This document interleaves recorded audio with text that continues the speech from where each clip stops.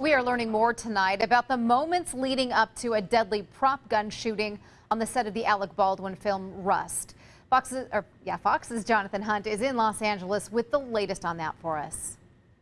At least two crew members handled the prop gun Alec Baldwin shot off in a deadly accident on a movie set last week.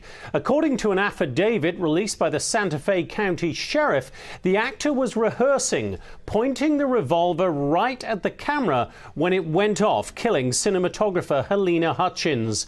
Director Joel Souza, who was injured in the shooting, told investigators two people handled the gun before it was given to Baldwin.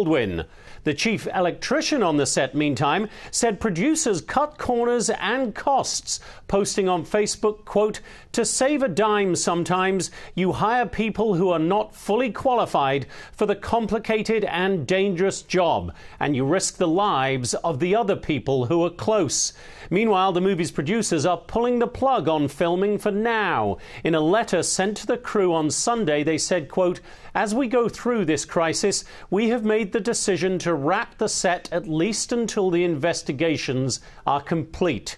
Candlelight vigils were held over the weekend for Hutchins. We love what we do, but it should never take us away. The incident sending shockwaves across Hollywood, with many who work on sets still looking for answers. The safety protocols are out the wazoo, so this is unacceptable. A camera operator who was working on the set says Baldwin himself was very careful when it came to the use of prop firearms while filming prior to the tragic accident.